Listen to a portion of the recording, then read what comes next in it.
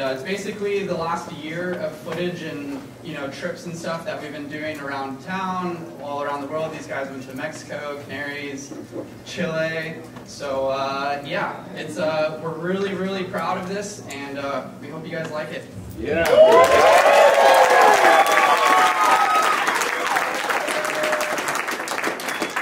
All right, well, first, I want to just thank everyone who came out. Um, it really means a lot to all of us.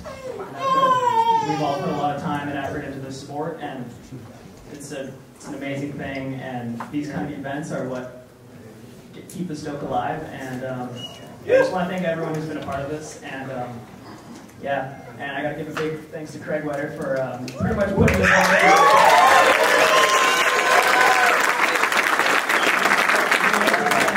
And, um, kind of been dreaming of our whole lives. So to finally put it on doesn't really feel like it's happening right now. So um, it's pretty cool, and I'm, I can't thank you guys enough for coming out and supporting us and just kind of proving that we're all one big family in this community in the sport. So I mean, it's really cool to see, and I hope you guys enjoy it as much as we did uh, creating it. So yeah, we're we're almost done.